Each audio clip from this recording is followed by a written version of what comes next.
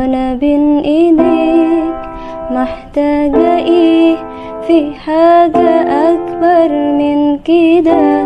وأنا عمري كنت أحلم في يوم اعيش حياة بالشكل ده.